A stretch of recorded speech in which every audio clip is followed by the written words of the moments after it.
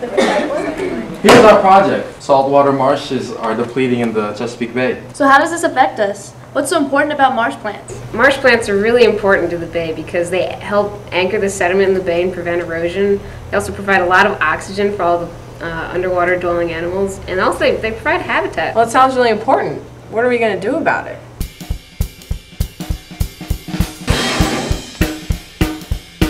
Is this the National Aquarium in Baltimore?